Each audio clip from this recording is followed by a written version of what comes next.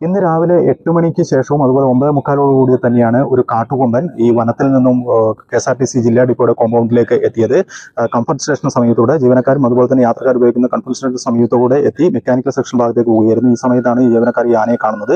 ഈ ഒമ്പത് മുക്കാലോട് കൂടി തന്നെ വീണ്ടും എത്തി ആനയെ ജീവനക്കാരെല്ലാം കൂടി ബഹളം വെച്ച് വീണ്ടും വനത്തിലേക്ക് തുരത്തുകയായിരുന്നു. പക്ഷേ ഈ ചപ്പക്കൊല്ലി ഭാഗത്ത് വരുന്ന ഭാഗത്ത് നിന്ന് ഇവിടുന്ന് ഒരു ഏകദേശം ഒരു അഞ്ച് കിലോമീറ്റർ സമയത്തുള്ള ചപ്പക്കൊല്ലി എന്ന ഭാഗത്ത് വെച്ചാണ് ഈ ആന റെയിൽ ഫെൻസിംഗ് സമീപത്ത് അത് തകർന്നു കിടക്കുന്ന ഭാഗത്തുകൂടെ ആന പുറത്തിറങ്ങി ആന അതിന്റെ വശം വശങ്ങളിലൂടെ സഞ്ചരിച്ച് ഈ ഭാഗത്തേക്ക് എത്തിയത്. തുടർന്നാണ് ഈ ഡിപ്പോയിലേക്ക് രാവിലെ ഒമ്പതേ മുക്കാലോടുകൂടി കയറുന്നത്. ജീവനക്കാർ ബഹളം വെച്ച് ആനയെ തുരത്തിയെങ്കിലും ഈ ഫോറസ്റ്റിനും അതുപോലെ ജനവാസ കേന്ദ്രത്തിനും ഇടയിലുള്ള ഒരു ഫോറസ്റ്റ് ബിറ്റ് ഉണ്ട് ഈ ഭാഗത്താണ് ഇപ്പോൾ ആന കടന്ന് കറങ്ങുന്നത്.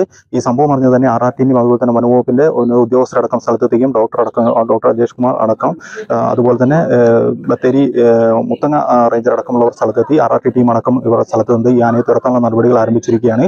ഒരു ടീം അടക്കം ട്വൽവ് ബാർ ഗണ്ണുമായിട്ട് വനത്തിനകത്തേക്ക് കടന്നിട്ടുണ്ട്. അതുപോലെ പടക്കം പൊട്ടിച്ചു മാനിയെ ജനവാസ കേന്ദ്രങ്ങളിലേക്ക് ഇറങ്ങാതെ ഇറങ്ങാതെ തന്നെ ഈ വനത്തിന്റെ സൈഡിലൂടെ തന്നെ കുറച്ച് ഈ റെയിൽ ഫെൻസിംഗിന്റെ സൈഡിലൂടെ തന്നെ എത്തിച്ചുകൊണ്ട് ഈ ഭാഗത്തൂടെ കൊണ്ടുപോയി ഈ റെയിൽ പൊളിഞ്ഞു കിടക്കുന്ന റെയിൽ ഫെൻസിംഗ് പൊളിഞ്ഞു കിടക്കുന്ന ഭാഗത്തൂടെ ഈ ആനയെ ഉള്ളിലെ ഉൾവനത്തിലേക്ക് തുരത്താനുള്ള ശ്രമമാണ് നടക്കുന്നത്.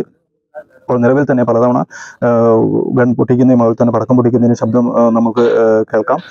ഈ ആനയെ ഉള്ളിൽ വനത്തിന്റെ ഉള്ളിൽ വെച്ച് തന്നെ അതിന്റെ സൈഡിലൂടെ നടത്തി കൊണ്ടുപോകാനുള്ള ശ്രമമാണ് നടക്കുന്നത്. ഇവിടെ ജനപ്രതിനിധികളടക്കം ഇപ്പോൾ കേൾക്കുന്ന ശബ്ദം ഈ ആനയെ തുറക്കുന്ന ഒരു ശബ്ദമാണ്. പടക്കം പൊട്ടിച്ചുകൊണ്ട് വെടിവെച്ചുകൊണ്ടുള്ള ആനയെ തുറത്താനുള്ള ശ്രമമാണ് നടക്കുന്നത്. വളരെയധികം ജാഗ്രതയിലാണ്. അതുപോലെ ജനവാസ കേന്ദ്രങ്ങൾ അതുപോലെ തന്നെ ഡിപ്പോന്റെ പരസ്യങ്ങളിലടക്കം ഈ ആന കയറി വന്നു എന്ന് പറയുന്ന ഭാഗങ്ങളിലും അതുപോലെ തന്നെ മൂന്നിടങ്ങളിലായിട്ട് ഡിപ്പോയിൽ തന്നെ ഈ വനംവകുപ്പിന്റെ ആൾക്കാരും അതുപോലെ തന്നെ പോലീസ് അടക്കം ഉള്ളവർ സ്ഥലത്തെത്തിയിട്ടുണ്ട് ജനപ്രതിനിധികളടക്കം സ്ഥലത്തെത്തി സ്ഥിതികൾ നിരീക്ഷിച്ചിരുന്നു. ഇപ്പോൾ നിലവിൽ ഈ ആനയെ തുരത്താനുള്ള നടപടികൾ തുടർന്നുകൊണ്ടിരിക്കുകയാണ്.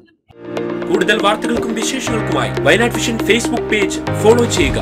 യൂട്യൂബ് ചാനൽ സബ്സ്ക്രൈബ് ചെയ്യുക.